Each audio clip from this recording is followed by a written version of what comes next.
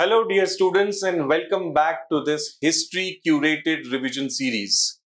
In case you are new over here, then I am Jawwad Kazi and I am running this series for history subject revision for prelims 2023.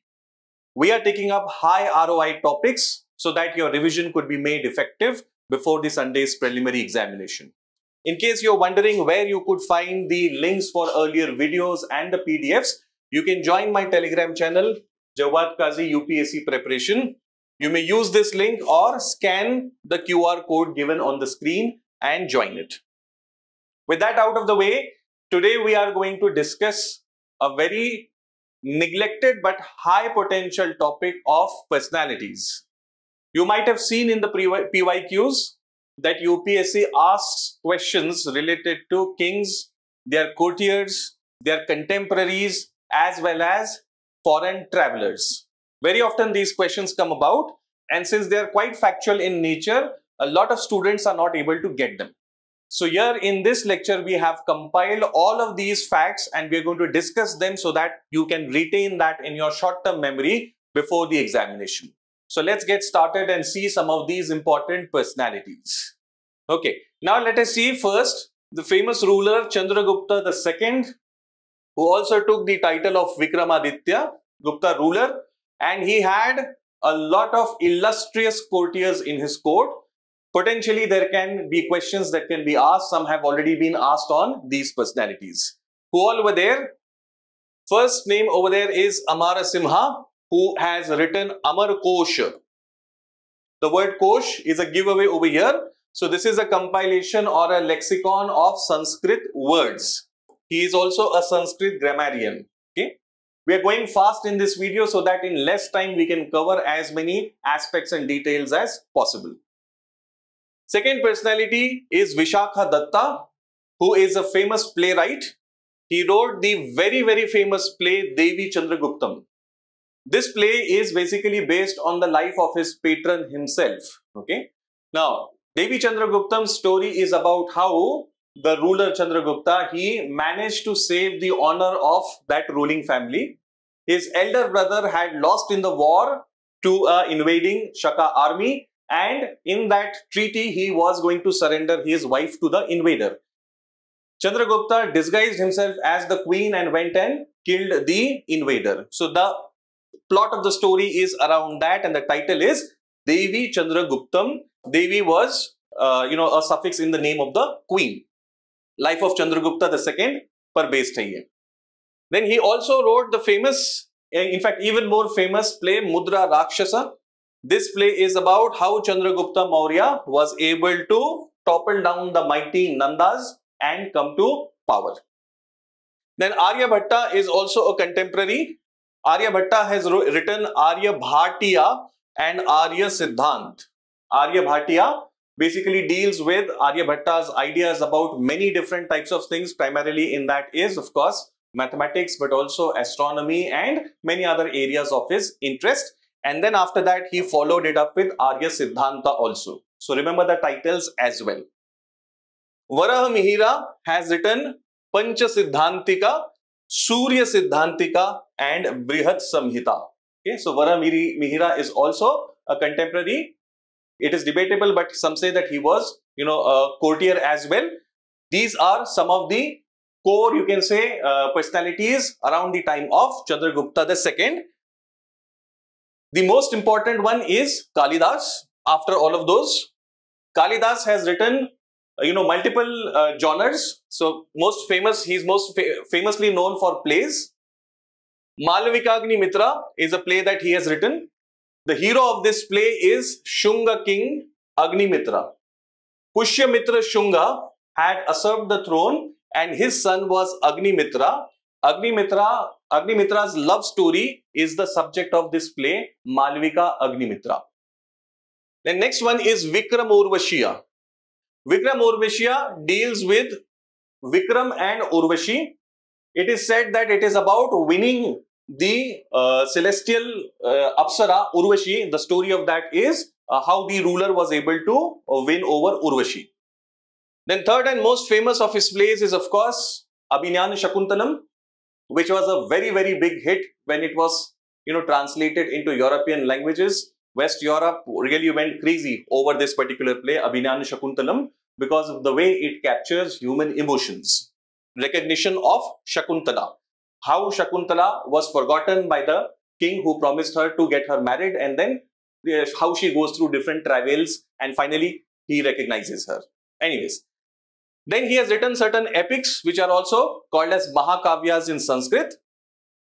First amongst them is Raghu Vamsha, which is about the dynasty of the ruler Raghu, who is the ancestor of Lord Ram. So it is about the lineage of Raghu, uh, Raghu Vamsha as the word suggests. Then one more Mahakavya is Kumar Sambhava, which is about the birth of Kumar Kartikeya, who is the first son of Lord Shiva. So these are the epics that Kalidas has written. Then of course is the famous Meghaduta and Ritu Samhar, which are written in lyrical forms. So these are the major creations of Kalidas, who is uh, you know associated with that same period of Chandragupta the second. So I hope you got these facts, guys. Now next, Kanishka is another important ruler who had very uh, you know great luminaries associated with his court and the most famous amongst them was Ashwa Ghosha. Ashwa Ghosha was a great poet and also master of music. He has written the famous Buddha Charita. Buddha Charita is written in Sanskrit language. He is a scholar of Sanskrit and a Mahayanist. So after Buddha, we have discussed in our earlier lecture that Buddhism gets divided into two sects, Mahayana Buddhism and Hinayana Buddhism. Mahayana Buddhism uses Sanskrit as a medium to convey its thoughts and ideas. Ashwaghosha is basically from that school and he is a scholar or an expert of Sanskrit poetry, particularly Kavya style. Okay, he is a Mahasanghika Buddhist philosopher playwright as well as orator. So he is one important personality that you should remember. There's a lot of chances of questions being asked. Then comes Charaka, who was a great physician, physician of Kanishka, and he has written the famous Charak Samhita, which is based on or which is an important text in Ayurveda. Charak Samhita, remember that. Then next important personality is Vasu Mitra, associated with Kanishka. He was the head of the fourth Buddhist council, which was called during the reign of Kanishka and it was held in Kashmir. So these are personalities associated with Kanishk. Then comes the Chalukyan ruler Pulakesin. His court poet Ravi Kirti, he has written the famous Aihole inscription. This is a very important inscription that talks about the conflict between Pulakesin and Harsha and in this inscription, we come to know about the victory of Ravi Kirti's patron. So it's a very famous inscription. Remember the author and remember the ruler also. Then Yasho Varman of Kannauj is another famous ruler and we have Bhavabhuti as an important personality in his court. He was known as throat of eloquence. This is a root word guys, L-O-Q. L-O-Q is a root word which means to talk. And from this LOQ is derived eloquence, okay? The ability to talk very effectively or convey thoughts and ideas very effectively. Okay? In Sanskrit, he is called as Shri Kantha or throat of eloquence. So he is a dramatist of 8th century and he has written the drama Mahavir Charita, Mahavir Charitra, which is basically about the life of Lord Ram and then subsequently he's written Uttar Ramacharita, which is a subsequent, you can say, uh, sequel of it. And then Malati Madhava. Malati Madhava is based on a love story written by Bhava Bhuti. Okay, so Yashovarman and Bhava Bhuti, you have to remember and remember his creations also. Okay, next, Lakshman Sena, the famous Sena ruler. In his court, we had the famous poet Jayadev whose Gita Govinda is a very important text in the uh, development of Bhakti movement in the eastern part of India. Gita Govinda by Jayadev around the time of Lakshman Sena. Vikramaditya the sixth, he is another famous ruler, Western Chalukyas. in his court was Bilhana, who has written the biography of his patron Vikramana Kadeva Charita, and Vijneshwara, who has written Mitakshara. Mitakshara is a treatise on Yajnavalkya's law book. And this went on to form one of the important law school for India, which is widely followed across the country, Mitakshara Law School, and the other being Dayabhag. Malik Muhammad Jaisi is another, you can say, author or luminary who is a contemporary of Sharkis of Jaunpur and he is famous for Padmavat. So these were some of the important rulers and luminaries associated with their courts or their contemporaries. Okay. Now we'll see Akbar's Navratna. Of course, you know all of them quite well, but nevertheless, the discussion on kings and courtiers can't be completed without a visit to Akbar's Navratnas. The first Navratna was Abul Fazl, who was a very close associate of Akbar, and he has written Akbar Nama, which is largely like a biography of Akbar, and Aine Akbari, which gives us very important information regarding the administration, governance, systems of Mughal rule under Akbar. His brother Faizi is another important luminary in his court, Akbar's court. He was a poet known to have composed very beautiful verses in Persian. Abul Fazl, Faizi and their father, the three of them had tremendous influence on Akbar. Then comes Tansen. About him, UPSC has already asked a question in recent years. Mia Tansen was a singer, uh, singer in Akbar's court. He was a poet himself also and a student of Swami Haridas. There's a very famous painting of Mia Tansen sitting before Swami Haridas seeking knowledge from him and Akbar in the back background. So this is about Mia Tansen. Now, Tansen was a title that was given to him by Raja Mansingh of Gwalior, not Akbar. This is the question that UPSC had asked earlier. Next important personality is Birbal, who of course is known for his intelligence and his name was Mahesh Das.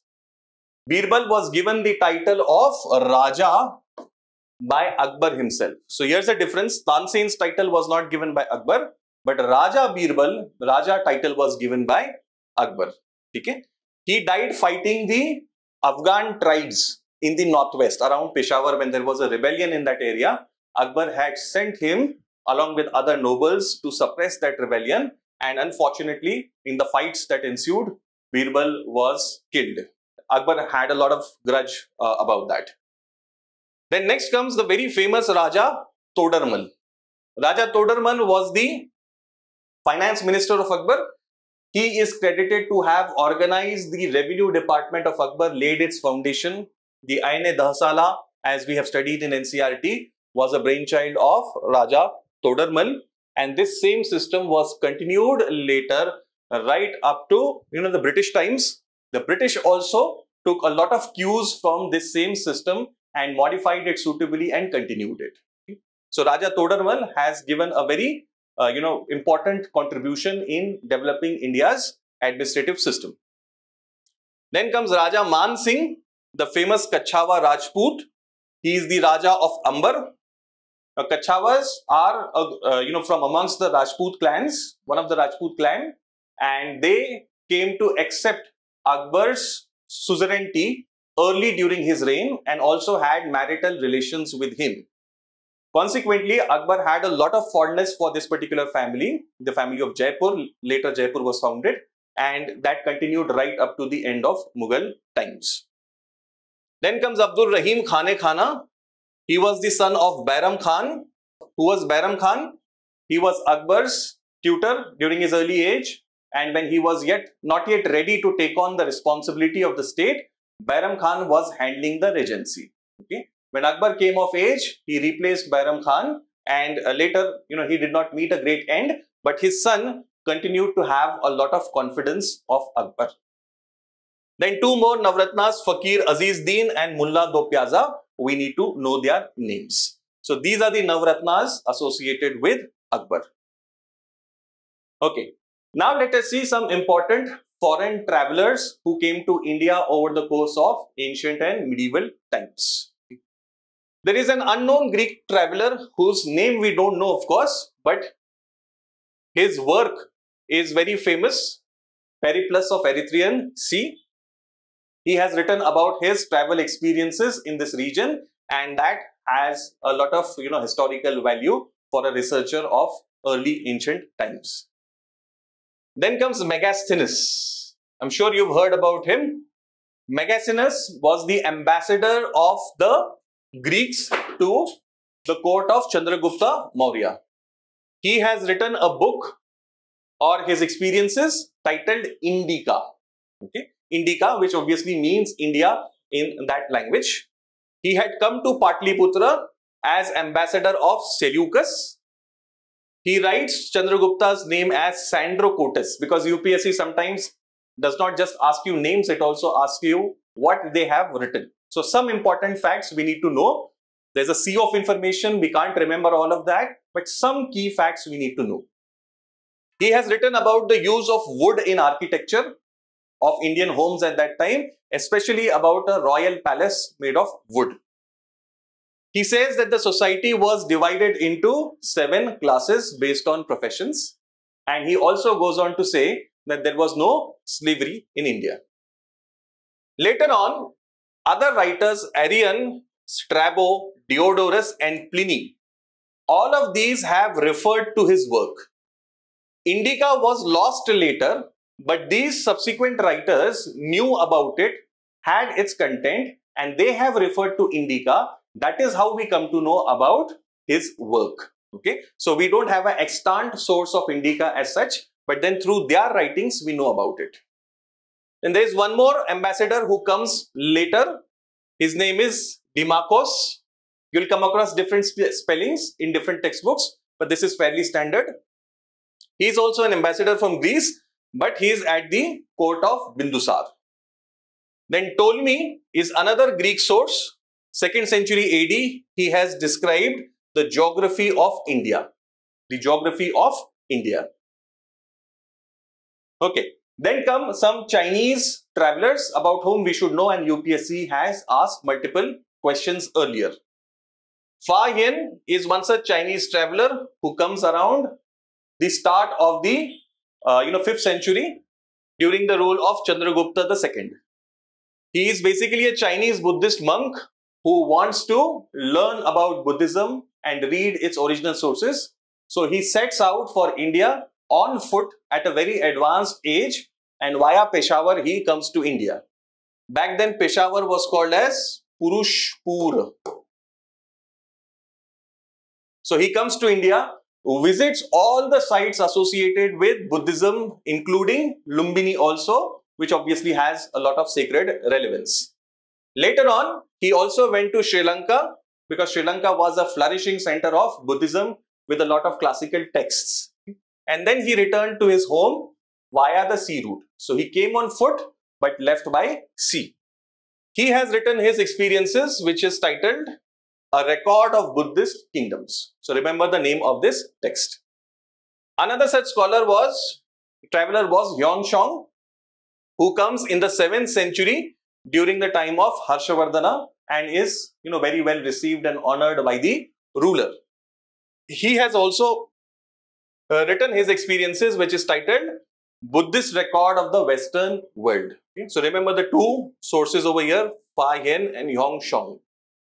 Then there's one more Chinese traveler who had come to India, I Xing, 60, 671 to 695 AD. Around that time he's there in India.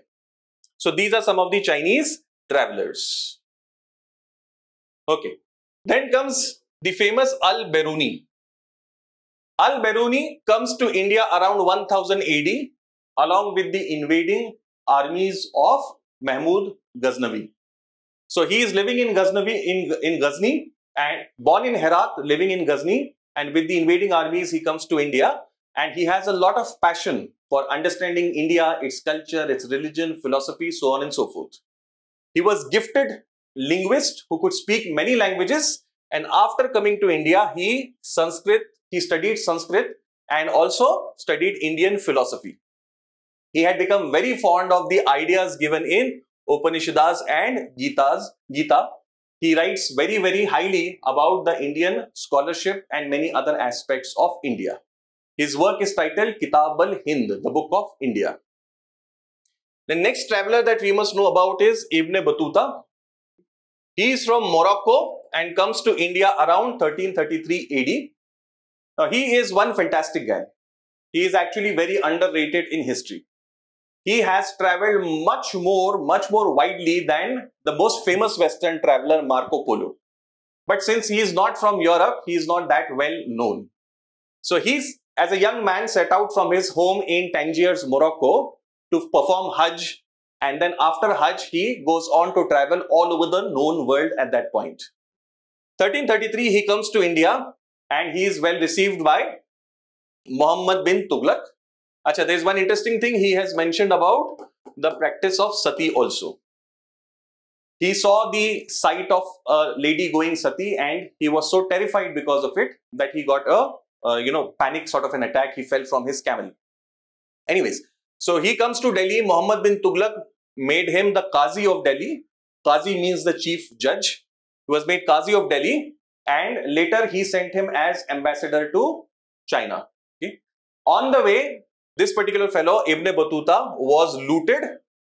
All his belongings were taken away and he felt ashamed to go back to Muhammad bin Tughlaq and say or you know narrate his fate. So he never went back to Muhammad bin Tughlaq and started uh, to go back to his home. In all, he has traveled 75,000 miles. That's, you know, the highest clocked by any traveler of that time. And he traveled not just in Muslim lands, but also in non-Muslim areas. His book is titled Rehla. Rehla means a travel memoir.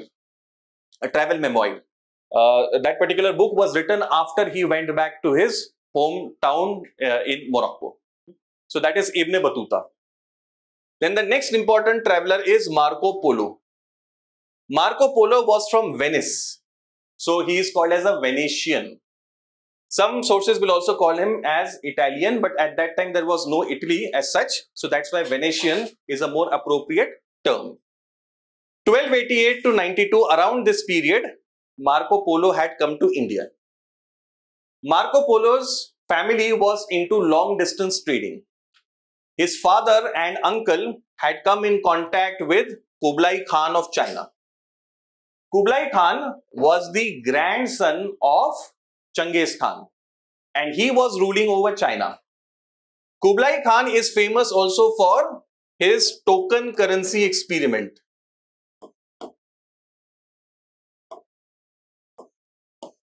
He had brought paper currency, token currency as such, which later was known by Muhammad bin Tughlaq when he made that infamous experiment. So Kublai Khan became very fond of Marco Polo's family and he asked them to bring some, you know, Christian scriptures as well as some holy water from Rome. Kublai Khan was very interested in Christianity. These people went back and they could not bring all the things that he wanted, but nevertheless, they brought a young Marco Polo along. So as a teenager itself, his journey starts as a traveler. He went to China, he learned the Chinese language, mastered it, and he was very highly regarded by the Khan himself. So he went on to occupy some very important positions in the Chinese administrative system. On his way back to Venice, you know, after having lived in China for decades, he was going back to his hometown. On his way back, he has come to India and visited the Pandyan kingdom, South India. Around that time, Rudramma Devi, remember this name? Very important fact. Rudramma Devi of Kakatiya dynasty was uh, ruling in Andhra region and he mentions about her also. He traveled on the Coromandel coast on the east and also visited the Malabar coast and he has left a very detailed account of people, culture, flora, fauna, so on and so forth. So that's Marco Polo for you guys.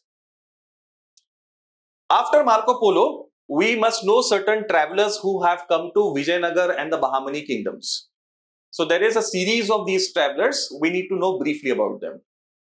Niccolo Conti is the first traveler, an Italian who came in 1420 to Cambay and then visited Vijayanagar under Devraya first. This is the first dynasty of Vijayanagar, very early phase. Niccolo Conti comes at that time and he gives a detailed description of Vijayanagar, the city. He talks about its magnificence, its massive stone walls, of how the city was structured and organized, so on and so forth. So a lot of information given there. Very significantly, he called the Telugu language as Italian of the East. Italian of the East. So remember this fact, Niccolo Conti calls it Italian of the East. Later he went to Sri Lanka, Indonesia and Java also. Next travel is Abdul, traveler is Abdul Razak.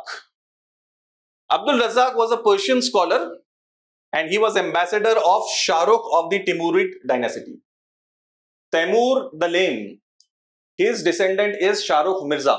So he comes as ambassador of Shahrukh of this dynasty and he first visits Zamorin of Calicut. He stayed there for a few days and then later went to Vijayanagar where the ruler had invited him. So he goes to Vijayanagar and he also has described Vijayanagar in great detail, the city of Vijayanagar in great detail. He mentioned 300 ports in the kingdom, which obviously is an exaggeration. There weren't that many. But he says that there were more than 1 lakh men on the battlefield. That is, the army had more than 1 lakh soldiers. He has written a book, Matla us Sadain and Majma ul Bahrain, which described his experiences as a traveler. So just remember the name of the book, Majma ul Bahrain Bahr in Arabic means ocean. Majma ul Bahrain means joining of two ocean. And Matla means rise. Matla ul Saddain is rise of two stars and Majmaul Bahrain is joining of two oceans. So these are Arabic words. Okay. A few other travelers, we just need to know where they are from. Nikitin is a Russian traveler who visited the Bahmani states. Nikitin is a Russian traveler. Then comes Domingo Paes, who visited Krishna Dev Raya's court, and he has given us a lot of information about Krishna Dev Raya, his appearance, his lifestyle, his administrative system, uh, his attitudes, many things. Then Barbarossa, he also tells us about Krishna Dev Raya. Nunes is from Portugal and he comes to Vijayanagar after the death of Krishna Dev Raya. So maybe there might be a question of arranging these people in chronological order or taking some key descriptions that they have given and asking statement based questions. There's always a likelihood of these type of questions. Now, in the end, let us see some foreign travelers during the Mughal times. During Akbar's time, we come across Father Montserrat. He is a Portuguese priest invited by Akbar. Akbar had won Gujarat and after winning Gujarat, he had access to the Arabian Sea. And with access to Arabian Sea came many opportunities of trade, but also the challenge of dealing with the Portuguese. So he comes into contact with Portuguese and he wants to understand and know them, their religion, etc., etc. That is when he invited some people and Montserrat was part of that delegation. So from Montserrat, he learned about Christian faith. He was impressed by this fellow and he appointed him as prince of his son Murad. This goes to show, guys, in many ways, the uh, level of broad-mindedness that Akbar had.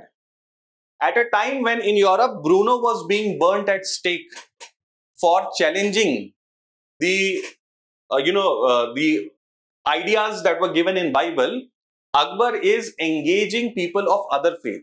He's talking to Christians, he's talking to Parsis, he's talking to Jews and trying to understand what their faith says with you know genuine interest and deep respect. He went on to appoint him as the tutor of his son. This goes to show the you know attitude that he had to, towards people who had different thoughts and beliefs. Then Ralph Fitch is another visitor, British visitor who had come to Akbar's court. So these are two names from Akbar's times that we must know. Then come William Hawkins and Sir Thomas Roe. Both of them come as ambassadors to the uh, to court of Jahangir and both of them want to win or want to get some rights to establish factories in India. Ultimately, Jahangir relents and allows them to set up factory in Surat and then later on across the Mughal dominion. So that is William Hawkins and Sir Thomas Roe. Then comes William Finch, another British traveler at the court of Jahangir. So these three have come during the reign of Jahangir. Then is Peter Mundy. He is a famous English trader who has come during the time of Shah Jahan and he has given a very elaborate description of Banjaras. He happened to see the Banjaras and their way of moving about. He saw a tanda, as it is called, of Banjaras having more than 14 to 15,000 livestock and how they were traveling carrying goods. He has given a detailed description of that. The next traveler is Tavernier. UPSC had asked a question on these two guys. Tavernier was a French jeweler who used to trade in diamonds and he he was buying diamonds from India. Now, diamonds from India were exceptionally famous in the world market. There was huge demand for Indian diamonds, especially the Golconda diamonds. He had bought the famous diamond called as the blue diamond, which he sold to Louis XIV, the famous French ruler. Uh, Shah Jahan and Aurangzeb's reign is the period where he has come multiple times to India. Since they are very close to each other, father and son, he has come during both the periods. Six to seven times he has traveled to India. Then another famous traveler or foreigner in India was Bernier. He also was a Frenchman, a physician. He has written a very important first-hand source of the Mughal period, especially Aurangzeb's period, titled travels in the Mughal Empire. Travels in the Mughal Empire.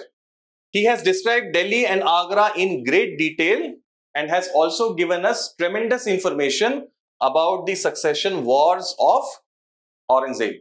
How Aurangzeb came to the throne since he is around that period only. He tells us about all the wars that took place and how Aurangzeb finally managed to become the emperor. Then is Manucci.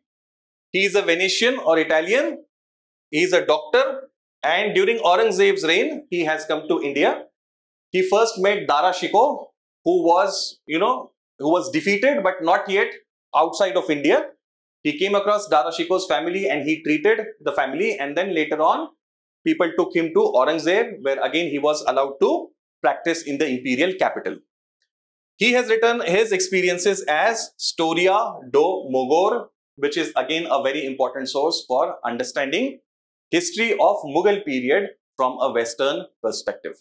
So these are some of the important names of travelers that we must know and a brief information about what could be asked.